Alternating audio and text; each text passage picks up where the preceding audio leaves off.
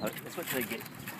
This is top of each called the Yeah. lazy way of transporting puppies to from the house to the outdoor kennel. Red wants a view. Gotta Oh, go up well. to the backwards. A wheelbarrow full of puppies. There they are. Here comes the bump. Bumpity bump.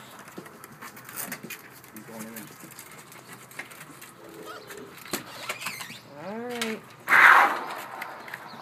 Come on in, guys. Oh, darn. Alright. Here we are.